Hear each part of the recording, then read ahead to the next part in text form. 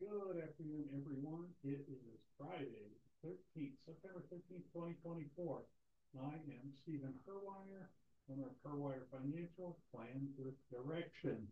After the weekly wrap-up, we're gonna talk about Medicare annual enrollment period is next month. What do I do? Next month begins the annual enrollment period for Medicare. It's for anyone that's on Medicare. If you're not on Medicare, this does not apply. It runs every year from October fifteenth to Pearl Harbor Day, December seventh. During this time, you can make as many changes as you like for the following year during this period. Last application received on or before December seventh will be the one that counts. Any applications received on or after December eighth will not be helpful the licensed agent, I cannot start talking about the specifics of any of next year's plans before October first. Licensed agents like myself may not accept applications before October fifteenth. And by the way, this doesn't apply if you've got another enrollment in, uh, period.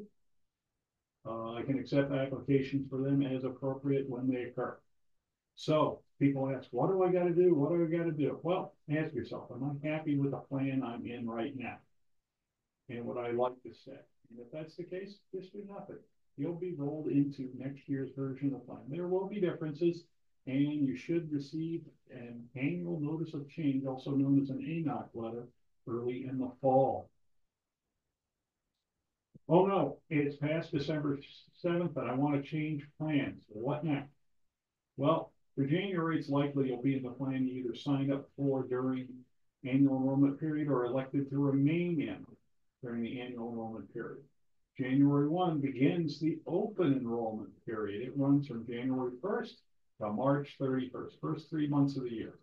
During this period, if you're on a Medicare Advantage plan, you can make a change. But if you're on original Medicare with or without a Medicare supplement, this option is not available to you. Once you exercise this option, you know, say you figure out in January, you need to change plans or February or March. Once you pull that trigger and change to another plan, that ends the open enrollment period for you.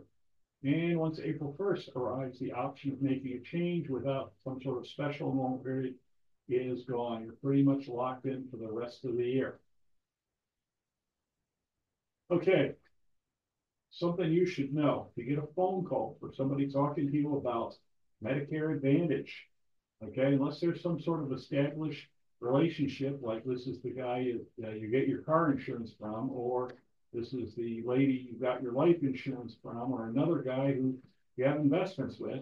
That's an that's a established relationship. They can call you about it. Otherwise, licensed agents are not permitted to cold call or knock on your door to solicit you. If you call a licensed agent where you don't have some sort of established relationship, uh, you can call anytime you like. And if you leave a message and say, hey, please call me back at this number, then the agent can call you back. Of course, they'll need to follow up and get written permission. Uh, you either use a permission to contact form or business reply card. These forms are set, you know, is where you grant permission to uh, for the agent to call you and uh, you can say, stop calling me anytime you like me an hour. But uh, if you receive a call from somebody that doesn't fall into one of those categories, the established relationship or, you know, you gave them permission to contact, um, those, those folks are in violation. So I know we've seen a lot of these commercials with famous celebrities from the 70s at least uh, one's a football player, another is on a on a comedy in the 70s. Uh, if you call them, you're probably going to uh, do something that gives them permission to call you. So if you call to have your benefits checked, it's likely you're going to start receiving these calls. In that case, they're probably not in violation. By the way, you can get the same information from any licensed agent.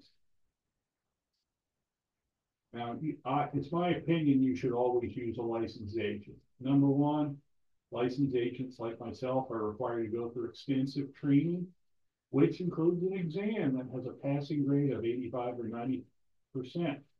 And then after that, I have to go take tests with all the companies uh, I represent. It's why, in my opinion, licensed agents on the Medicare side are among the best trained in the industry. And I personally favor independent agents, not only because I am one, but because every company is not a good fit for every individual. So the fact that I offer more than one company gives me a better opportunity to find something that's a good fit. And probably the most important reason to use a licensed agent, there is no cost for the consultation. Again, final thoughts, I'll emphasize this. I suggest using a licensed agent. There's no cost for the consultation. And I suggest using an independent agent. Now, even though it's not required, it's handy for you to have a list of your prescriptions ready in case you want the agent to confirm the plan they're showing you covers all of your meds because every plan is a formulary and they don't cover every medication. So I like to make sure that when I'm introducing a client to our prospect to a plan, I want to want to make sure all their drugs are covered. And also, even though it's not required, it may be useful to have a list of the doctors you want to keep because not all plans are accepted by all doctors. And just calling up and saying, hey, do you accept XYZ insurance? They may not know. Uh, had somebody like me figure it out for you, that way you can hold us responsible. Once you graduate, be it from welding school, engineering school, or law school, you're going to need a different plan for each of these stages that's tailored to your individual situation. During your working years, most important question is, am I saving enough and is it in the right place? The glide path to retirement, which I define as the last 10 years prior to retirement, will the USS retirement be shipshape on the appointed day? When you're in retirement, one of the primary questions is how do I avoid running money, running out of money before I run out of life? Medicare is an important part of that because healthcare can get expensive if you're not partnered up with a right insurance company. And legacy, what does what I worked hard for get to where I want it to after I'm done with retirement? You can reach me at my website, herweyerfinancial.com. I do in-person, Zoom, and phone appointments. And I am licensed and registered across several states and can easily add states if there's a need. If you'd like to schedule an appointment, you can click on the schedule an appointment button. It's in the upper right-hand corner of my website. If you want to see more videos like this, go to my website, click on the YouTube channel button. It's that red one between the in and the F buttons next to my schedule an appointment button. If your friends want more information, they can follow me on Facebook, LinkedIn, or Twitter please subscribe to my YouTube channel. And for those who prefer the good old fashioned telephone, I can be reached at 518 631 2569. Do not text that number. You'll be sad, I'll be sad, but the text will not reach me. You can see on the screen there is a separate texting number. Paintings, voice, and material are for general information only, not intended to provide specific advice or recommendations for any individual. All performance reference is historical. No guarantee of future results. All indices are unmanaged and may not be invested in directly. All data is believed to be from reliable sources. However, no representation is made as to its completeness or accuracy. None of this is to be construed as tax or legal advice. Consult your advisor prior to taking any action. Unmanaged index returns do not reflect fees, expenses, or sales charges. Index performance is not indicative of the performance of any investment. Investing in stock includes numerous specific risks, including fluctuation of dividend, loss of principal, potential illiquidity of, an, of the investment in a falling market. Investing in mutual funds involves risks, including possible loss of principal. Fund value will fluctuate with market conditions and it may not achieve its investment objective. The Dow Jones Industrial Average is comprised of 30 stocks that are major factors in their industries and widely held by individuals and institutional investors. The Standard & Poor's 500 Index is a cap-weighted index of 500 stocks designed to measure performance of the broad domestic economy through changes in the aggregate market value of 500 stocks representing all major industries. The NASDAQ Composite Index measures all NASDAQ domestic and non-US based common stocks listed on the NASDAQ stock market.